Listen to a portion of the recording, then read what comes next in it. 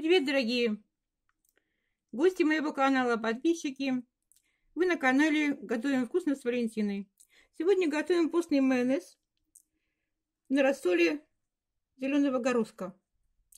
Вот я в часу для блендера налила рассола с горошка 75 миллилитров. Доливаю сюда постепенно стакан 200 грамм подсолнечного масла без запаха. Погружаем блендер на самое дно и постепенно-постепенно такими движениями поднимаем вверх, чтобы взбивалась наша масса.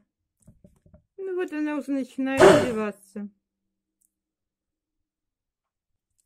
Ну вот так получается. Добавляем тонкой струйкой еще масло, чтобы майонез стал более густым.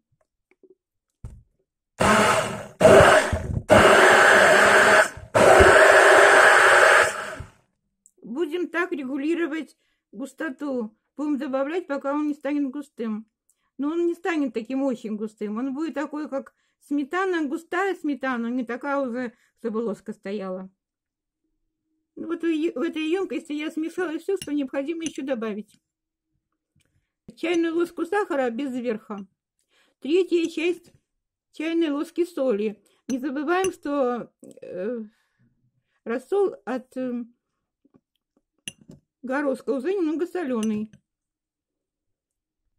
Одну столовую ложку уксуса 9% или половина лимона сока лимона.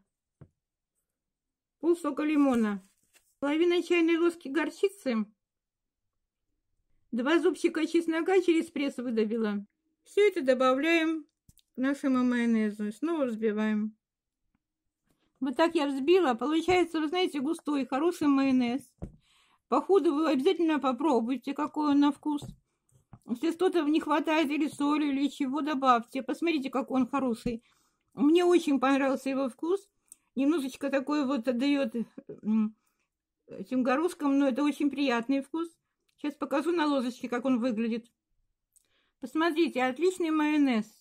Он очень вкусный, но он совершенно без яиц, без молока, вкусный.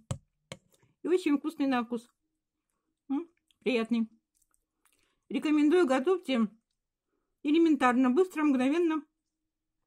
Растительного масла я немного добавляла.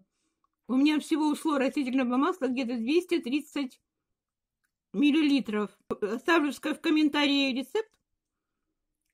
Вот так. Вы будете добавлять растительного масла, чтобы он стал густым. Постепенно. Очень вкусно. Рекомендую. Готовьте.